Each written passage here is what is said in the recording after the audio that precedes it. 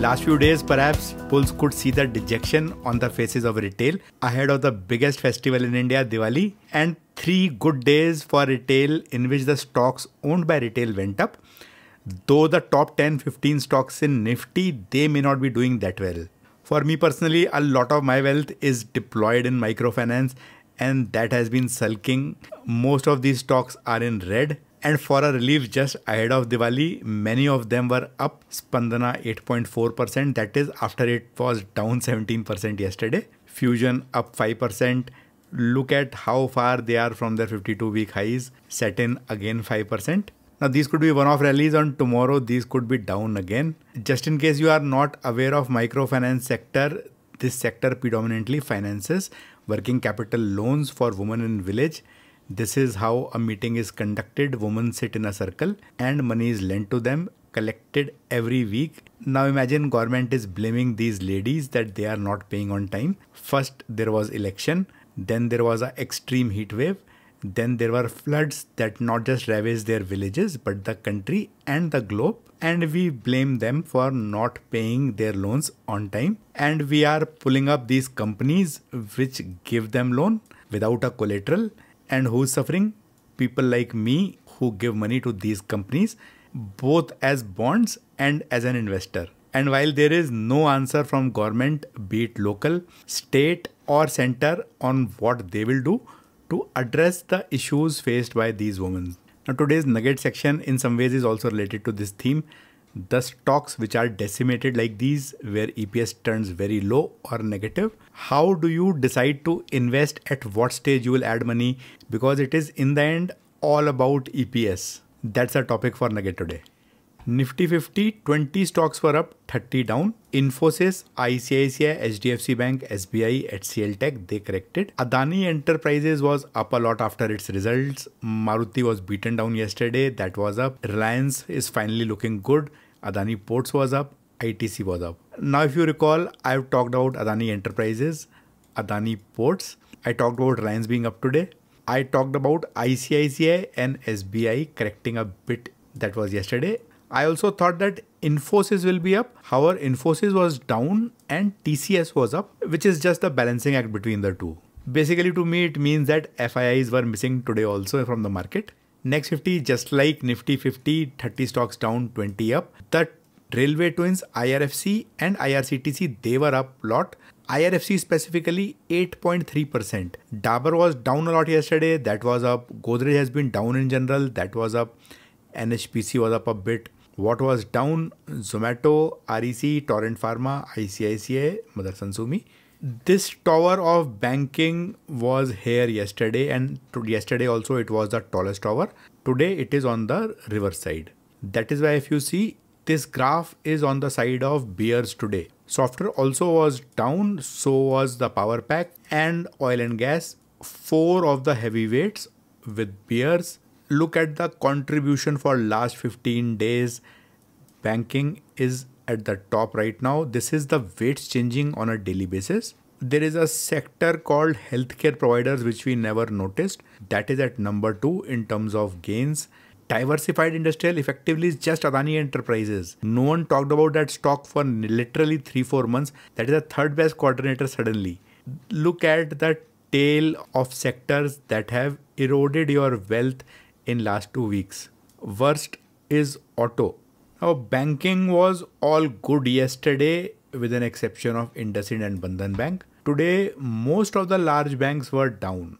While Nifty looked really bad at the end of the day, it was not that bad whole day. It was actually going up till this point, which is approximately 1 o'clock. That is where this sharp fall came.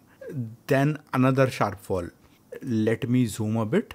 This was literally a 160 point rise. And then we gave up all the gains hitting the bottom of the day. And today was not Nifty expiry, this was Bank Nifty expiry.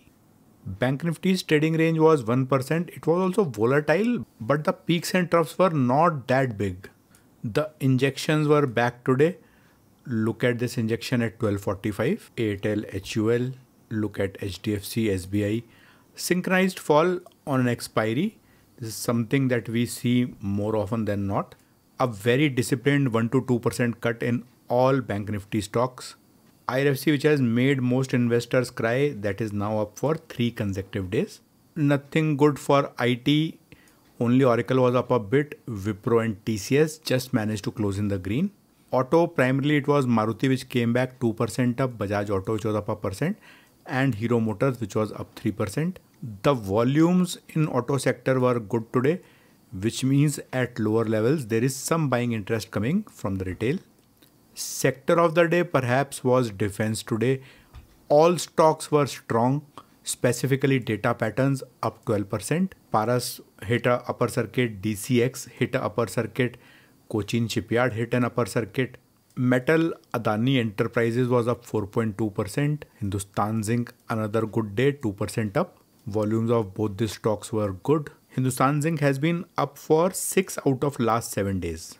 And remember, it spent so much time in the red zone, nearly a month. That is when no one wanted it. Oil and gas was not looking good at all today. Chennai Petro down 5%, HPCL 3% no interest from retail in general. Edible consumption was looking good, only Varun Beverages had a minor cut. However, the volumes are ordinary. Radico Khaitan up 8% more. And I have not sold it, I am still holding the stock. Even the non edible consumption stocks were looking good today. Volumes were good. Best gains came from the bottom of the pack Gillette was up 4% today also after the 11% gain yesterday. This was Gillette going normally and then it suddenly got a rocket. Investing today was mixed bag. MCX which has run up a lot that corrected. The P's are perhaps too high, down 6.5%. Minor profit booking in Motilal Oswal also 2.5%. But 360 One CDSL both up 3.5%. Nuvama, Angel, CAMS, JM Financials, they were all up. Nippon was up, BSE up another 1.3%. Seems like this sector still has some steam left. This is a new dashboard which I created today. This has most of the NBFC's microfinance companies. These are the large consumer finance companies. Then is the microfinance pack. All of them are in red. Then are the gold finance companies, Muthoot Finance, Manappuram, IIFL. And then we have the B2B co-lending companies. This sector is full of reds.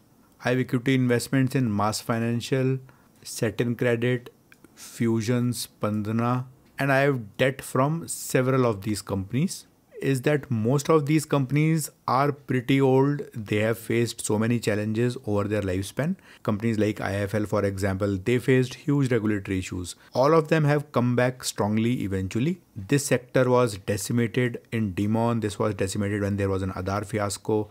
This was decimated when there was a pandemic. It always comes back. So a lot of money can be made if someone is willing to take risks here by investing at these low levels. FIDI data just came out and DIs also have scored a century today. Okay, I just refreshed the dashboards.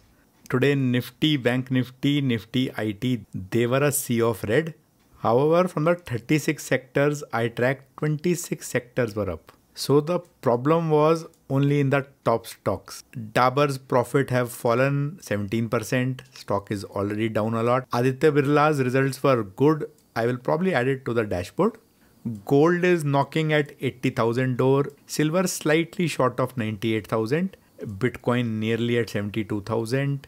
Rupee and Brent are where we left them yesterday. Alphabet good gains early in the trade 7% up. Amazon up 2% both Amazon and Alphabet comfortably above 2 trillion. Some trades today. I bought two units of Tejas Networks and I'll talk about Tejas Networks in the nugget section also. This is an 11.5% coupon bond, a part of my fixed income portfolio. I moved a bit of the equity that I sold earlier to bonds here. Now I needed money for Tejas Networks so I sold a little Satin credit. It was up any case 5%. I have no idea whether it will be up 5% tomorrow or down 10%. So I thought let me at least sell 1000 of it. I'll buy it back if it falls tomorrow. So this was a loss today because Satin's holding cost is high. Investment day as well. Now tomorrow I am celebrating Diwali so tomorrow's coverage may come on Saturday, not tomorrow. Today I have a very interesting topic because many times when a stock is beaten down a lot or there is a flash in pan kind of performance where a very good EPS is there, we are all confused whether to buy, sell, at what levels, when will the stock price rise because of the good or bad EPS. I'll take some examples for this exercise to illustrate the concept. I'll start with Tejas Networks which I bought today and I'll tell you why I bought it. First, the sales numbers nearly double June to September this could be a flash in the pan. I don't know. I don't study this company a lot, but it has doubled many, many times. It has grown rapidly. That is the risk I am taking. Look at the EPS trend 0.3, minus 2, minus 4, minus 0.4, minus, minus, minus, minus, minus, minus. Suddenly turned green 8.6, then 4.5, and then 16. So this trend is looking good. Now, if you look at just these four quarters, about 26 27 that's the eps right now for these four quarters. Now let's extrapolate for the next quarter. Let's say it will be better than this. That's case 1 20 something like this which is 15 and lower than this let's say 10 so this minus will go off and these will be added. If this is the case then this eps becomes 50 if this is the case the eps becomes 45 in this case 40 what is the eps right now? 27 it can go up between 50 to 100% annualized in the next quarter. That is the risk I am taking. Now, of course, the EPS next quarter could be negative also. I can't predict that. So it's a trade for next quarter for the results primarily. Now, let me also give you the graph of the stock price. While the EPS was like this, the stock price was not doing much actually here. As soon as we reached 8.6, this number was looking fine started going up.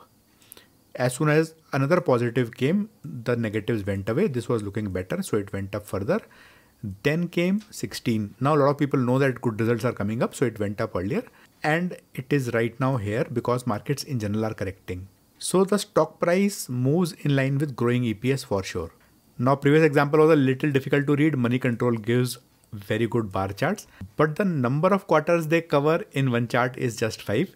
That is why I tend to use both. This is Nuvama Wealth, the EPS 41, 50, 51, 62, 72. Graph is going like this. I like this graph and I like this stock. That is why I invested in it. If you extrapolate it, next time it should be somewhere around 80 at least. What will go out? This 50. So we'll reduce 50, add 80, the EPS will go up by 30. So 80, 70 to 150, 210 and 50, 260. That is up from 210. Nearly a 25% jump. Now let's look at Motilal Oswal. This seems like a problem. It is not a problem. There was a bonus here, 1 is to 3. You multiply this number by 4. So this is 60. Multiply this by 4. This is around 74. 35 44 48 60 74 going up. A lot of people don't account for bonuses splits and so on the corporate actions. Ideally the chart should be adjusted but does not happen for all the stocks. So we have to apply a little bit of knowledge here. Spandana Sphoorty. It was down 17% yesterday. It was up 8% today the revenue looks okayish. Yes, they have reduced the revenue here because they are not giving loans in certain pockets. Most microfinance are not giving loans in the pockets which are troublesome. The problem is EPS and there is no bonus here. In June, this became 8 from 18. This quarter, it became minus 30. That is because of provisioning, financial impairment. That's a technical term.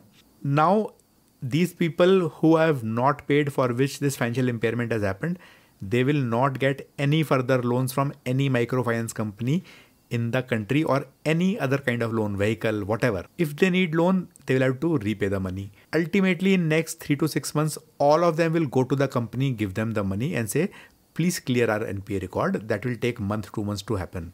Eventually this money will be recovered.